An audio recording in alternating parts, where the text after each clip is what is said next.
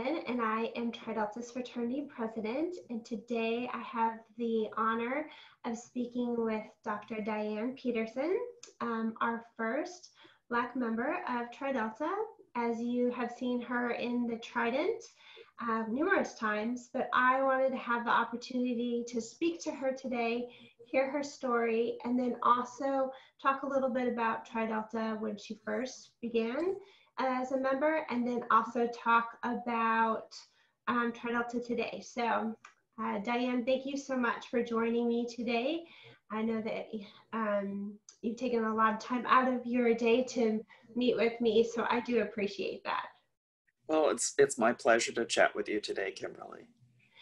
Well, Diane, I thought what we would do is just start at the beginning. So it's my understanding that you grew up on the East Coast and then you decided to go to the University of or Ohio Wesleyan University um, in 1962. Is that correct? That's correct. Yeah.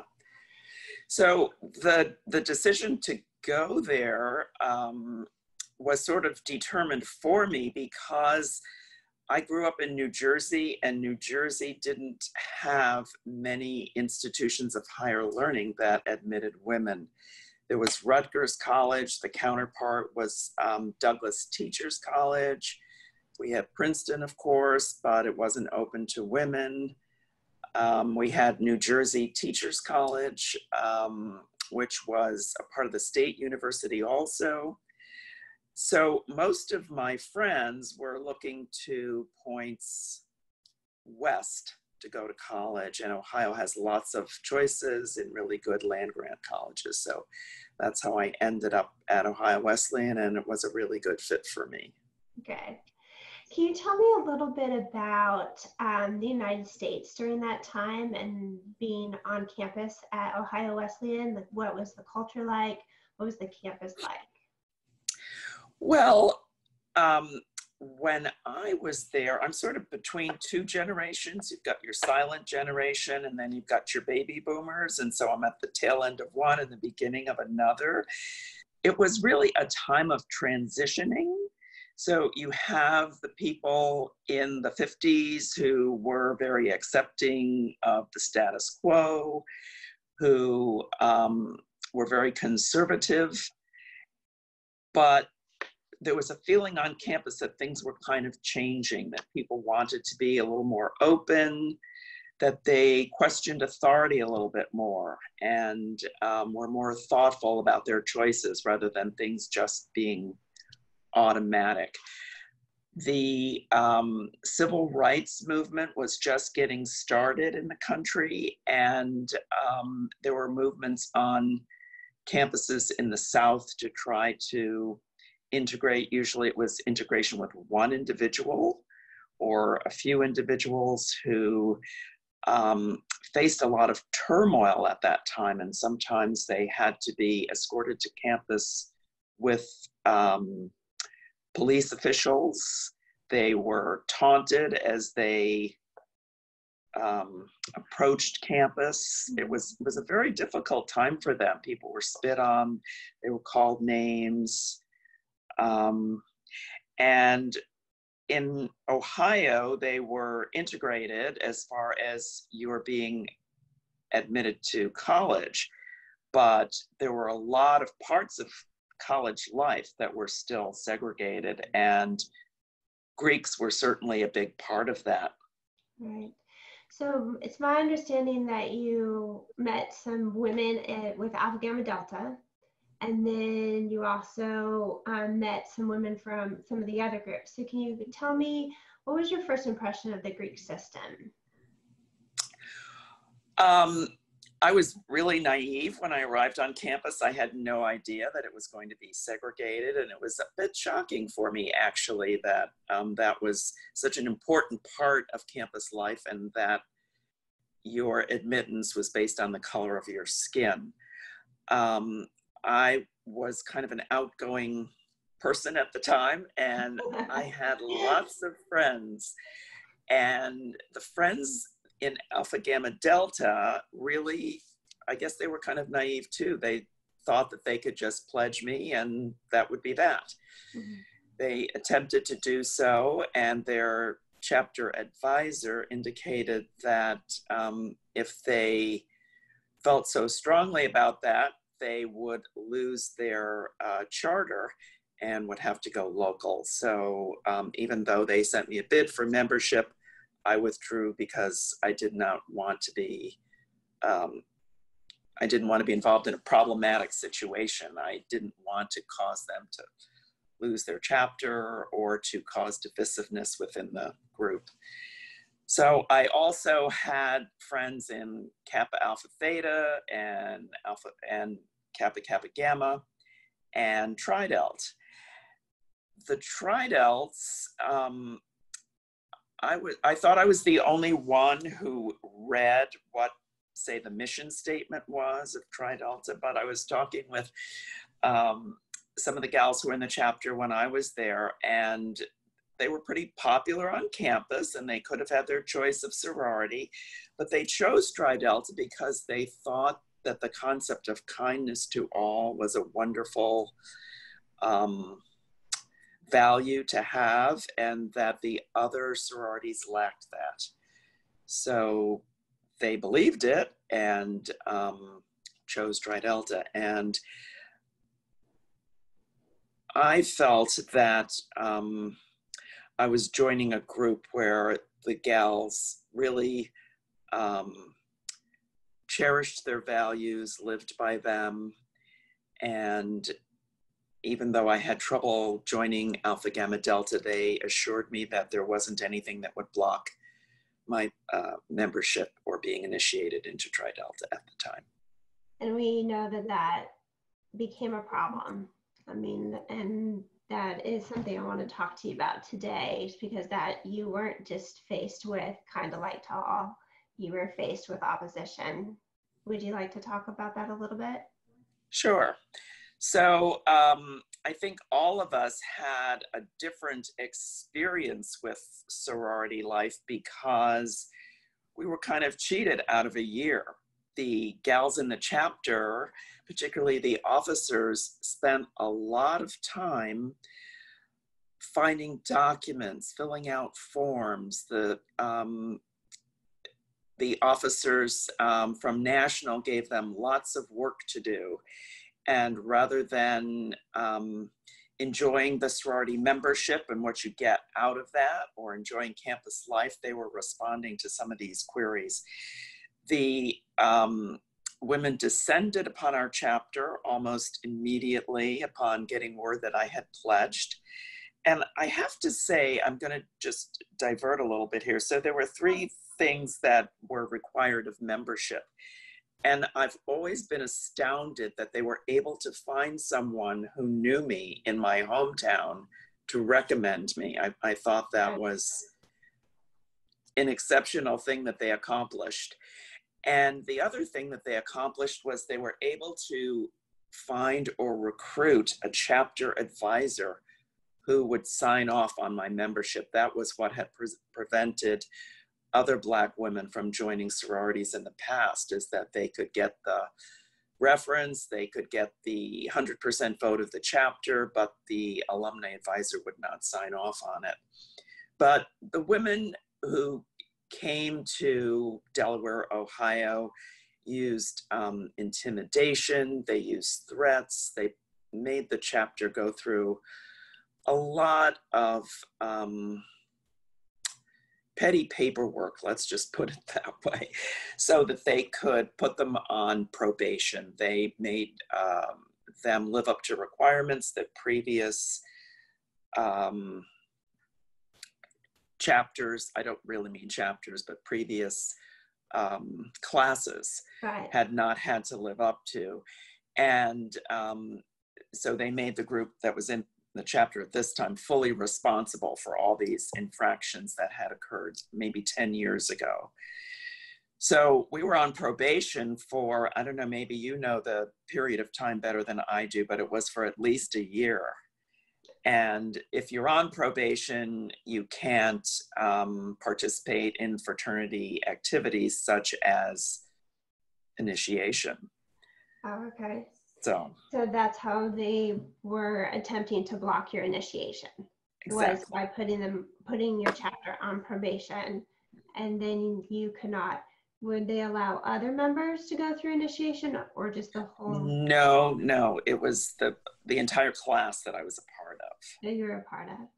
Yeah. So then they lifted the probation, I'm assuming, and you were able to be initiated? Or did they initiate you with, and instead, did your chapter just go ahead and initiate you? Oh no, no, no, no! They were go- they were following all the rules. Trust me, Okay. they followed every single rule. So, um, actually, the national um, office was contacted by the president of Ohio Wesleyan, Okay. and he insisted that someone from national come directly to campus and speak with him about what was going on in our chapter. And he wanted an assurance from i think it was the collegiate vice president who came down. Um, he wanted assurance from her that i would be in fact initiated. And he also issued a letter to all the other greek groups on campus at that time demanding that within a certain date that there be um, evidence from every chapter that they had nothing discriminatory uh, in their charters or their constitutions or whatever written documents they had. That I, I'm very proud of him for doing that. I'm also very proud of your advisors, your advisor who stood up, and I'm also very proud of the Delta Upsilon chapter for standing up for you. But mostly, I'm very proud of you. I, I, I've heard your story reading it, and I just can't imagine. I can't imagine the fraternity that I know that is supposed to be kind of like to all doing this to another human being doing this to a woman. Um, and i can't imagine but at the same time we know that racism still exists today which i do want to talk about in a little bit but i want to finish your story of becoming initiated. So tell me a little bit about that. Tell me about that experience. So, um, because it was such a struggle, and I think because the girls were so steadfast in their views, and I still choke up thinking about what they did.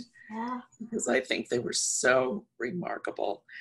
Um, it was such a happy and joyful day for all of us because we felt as though we had maybe the only real sisterhood in the entire country. absolutely We knew we had, we knew it was the only one on campus, but we, and I know that they felt so proud of what they did and that they felt that they had won an incredible victory that right won out because they stuck to their guns. They were not intimidated.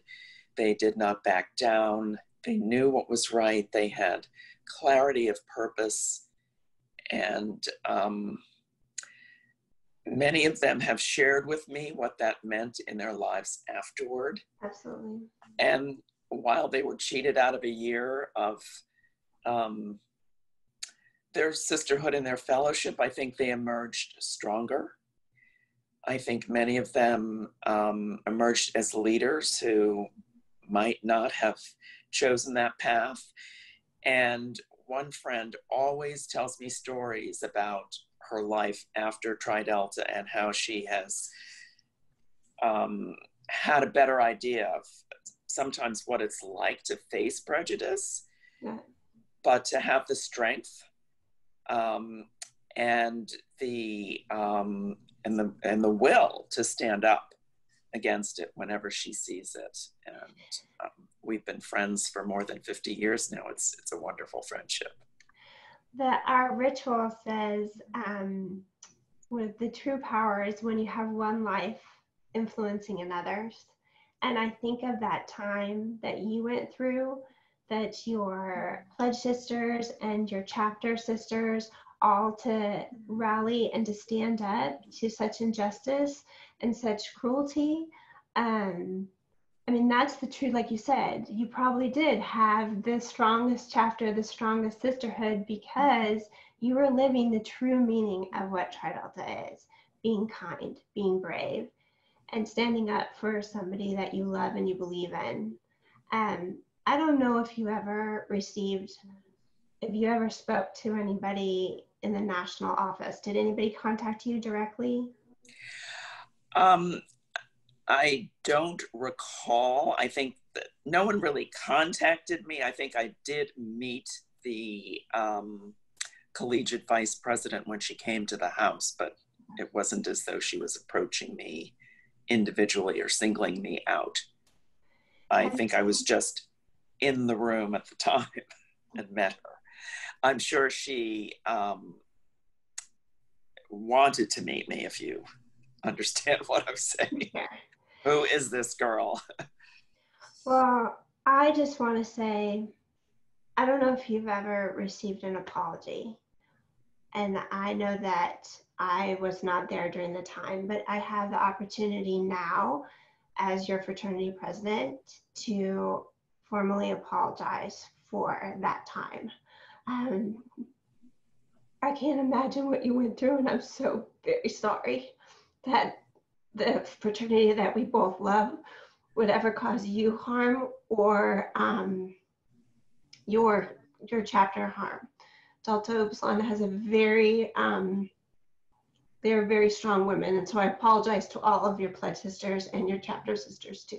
Well, thank you for that because I feel like we were all in it together. And I feel as though they went through an awful lot as well. So thank you very much, Kimberlee.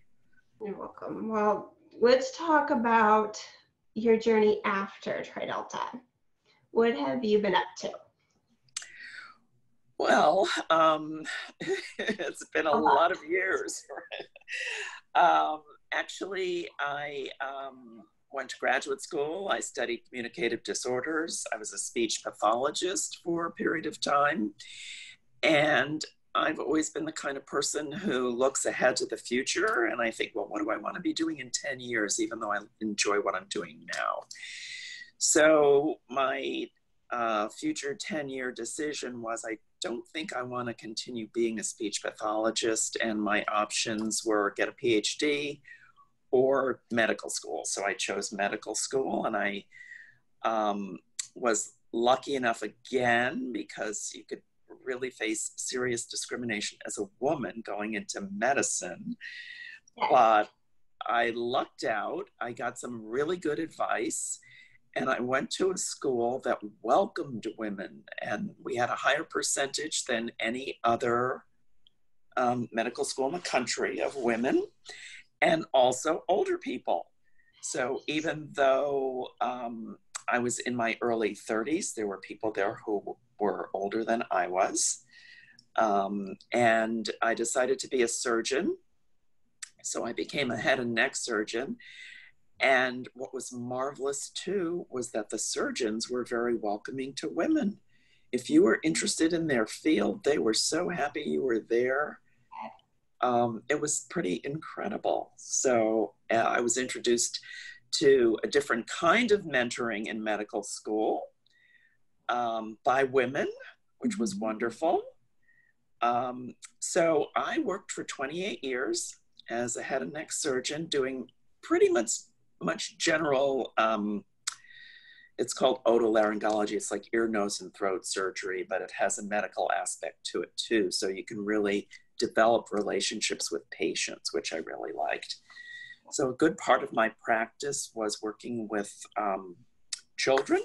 Mm-hmm. Um, I had lots of young patients who had either ear disease or sleep problems or tonsil problems or that sort of thing. So, um, I would say maybe a quarter of my practice was pediatrics, which I totally enjoyed. But um, I loved my practice, but now I'm retired and I've been retired since 2015. Congratulations on that. Thank you. and I just love traveling, seeing the world, learning about other people and other places. Well, that, I think it's a well deserved retirement, and I hope you have a good time traveling. Well, thank you to ask you today a little bit about Tri Delta today. I know you're on in the Trident, and then we've also um, been having some messaging that's gone out um, due to all the racial racial injustice that's been Mhm. happening this summer from George Floyd to Breonna Taylor. I just think um, we want to make sure that we, as the executive board and also the fraternity, this is going to be a huge growth, not only for Tri Delta, our country, but also like us individually. Have you um, had a chance to at all, like, uh, to look at any of our statements, or we have a business resolution that's coming up? I wanted to talk to you about that and just get your thoughts on that, on those things that we put out this summer.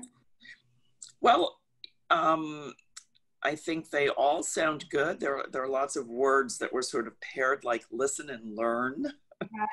I mean, it was sort of, it felt like there was some very direct semantics, like it was very carefully put together. And um, I probably read it maybe like three times, just sort of appreciating the, the word choice, um, like uh, condemn and confront the, uh, the biases that we face. Um, and I like your three pillars of being brave, bold, and kind, and, and what goes into each of those categories. I think your business plan is a good one because one of the problems from um, all levels of leadership, it doesn't feel to me when I look in the Trident or see representation from Tri Delta that there are any uh, faces of color in positions of leadership. Right. And I think that's that's one of the things that's uh, been missing. But I particularly like um, your plans to have um, discussions and to provide materials to the collegiates and to the um, members who are alumni. I think it, it's good that both groups are going to be um, included. And, and just this conversation today, when we're able to face our past and the mistakes that we've made and own up to them in this way, I think then um, we're better able to move forward, to recognize um, what we've done, to evaluate where we are and, and how to move forward from here. So um, you need self-examination in order to change. And I think that's important. Absolutely. As we started to navigate through um, this important work, we wanted the executive board started to talk to stakeholders within our organization, outside of our organization, our mentors, our advisors, and then strangers, just to get a feel for what do we need to be doing to be able to address this uh, important work. Part of it is our business resolution to recognize our past that we were founded to be kind of like all, but we worked on things, but we have fallen short on many things too, because there is still racism within our organization. When we came out and said that there is no place for racism in Tri Delta, we did get feedback. And I would say we got feedback that was, you know, people told stories that you had just said to me. Um, there were people that saw things happen within the organization. And then we have that some people that feel that there is no racism in Tri Delta. And I I have seen as the fraternity president, as executive board member, all of it. Not but at the same time, I know that everybody's experience is so different. Do you believe that there's anything that we are doing that you see as racism within the organization?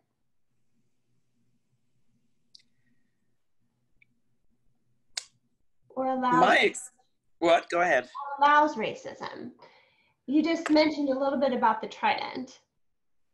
Right. So um, I've seen over maybe the last five years more of an effort to uh, print stories about um, inclusion, to show photos of chapters where there are a significant number of um, faces that are not white. Um, I'm not involved enough with the organization to, to fully understand um, up the channels of leadership what um, what needs to change or what could change. Um, I think we don't all recognize when we are engaging in racist activities. I, um, in in recent weeks, have read articles and um, have purchased some books that I'm delving into. But there was one faculty member from Wellesley who tasked herself with listing at least 50 ways in which she felt that she was privileged by virtue of the color of her skin, mm-hmm. not by virtue of where she lived or her socioeconomic level. And it was interesting for me to go through that list and say, oh, yeah, let me circle this. That's something that I've experienced. When I moved into a neighborhood, um, how are my neighbors going to feel about me because I'm the only Black person in this neighborhood? Or when I go into Neiman Marcus, um, is there somebody shadowing me, you know, concerned about if I have the financial means to be shopping here or if I'm going, or if I'm on a different agenda. Anyway, I don't want to belabor that point, but um, I think if we all took the time to do an exercise like that, it's it's worth doing. And a friend of mine um, pointed out to me that when she befriended um, a, a, black woman, it sounds bad, but she's white. She she had a black friend, and they would go to the grocery store together, and sometimes they would exchange children. So when she had the black child in her cart, she had a very different experience than when she had her own child in the cart. And um, I think her, her feeling was that if we put ourselves in positions where maybe we experience what um, a non white person might experience, it gives you a whole different sort of outlook for that. I think this time I I've been reading a lot too because you you try your hardest, you try to be kind and you try to be educated, but then at the same time there's a lot of things that I realized inadvertently that I was doing that I didn't realize I was doing that could be a microaggression or could be hurtful to somebody else, even though I thought I was coming from a place with a good heart.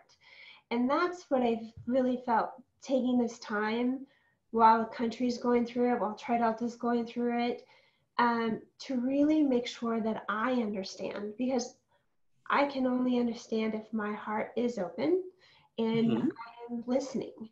And the, so you did hear those words in uh, our LEADDD Now plan is we do want to listen. We want to be open and and hear other people's thoughts and amplify those voices. One of the ways that we want to do that is by bringing um, two people of color, two of our members, Tri Delta's members, onto the executive board.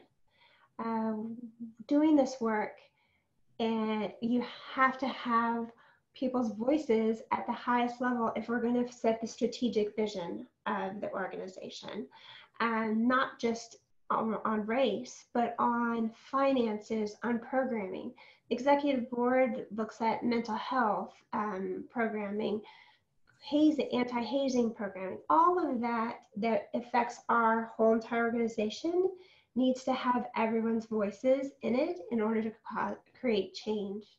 What are your thoughts on us adding two board members of color onto our executive board? Well, I think that's an excellent idea. I think that's a good start.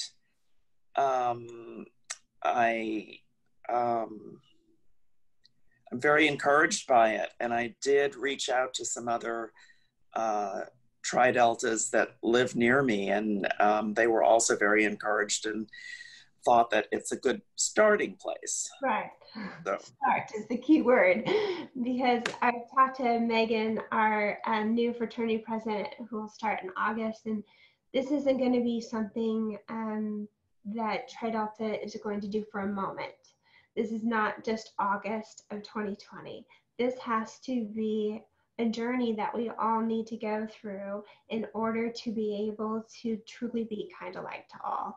And I think that you hopefully will see that reflected in the Trident social media, but then also in all of our programming and who we are as an organization.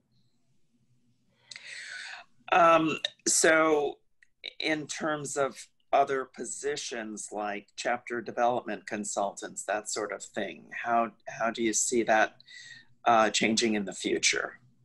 So we, uh, in the past couple years, that has been something that we have been very intentional uh, with, is having our CDCs, our chapter development uh, consultants, reflect our collegiate chapters. We have had people of color um, as as CDCs, and I will see. I would imagine we would continue to do that also.